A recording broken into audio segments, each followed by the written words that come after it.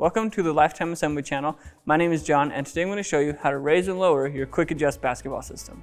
To raise your system, use a broomstick and push underneath the rim in between the springs until you reach your desired height.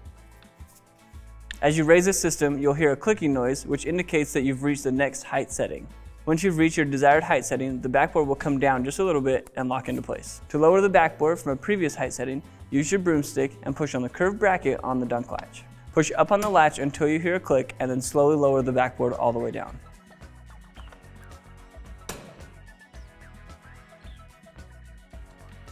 Thank you for watching this video on how to raise and lower your quick adjust basketball system.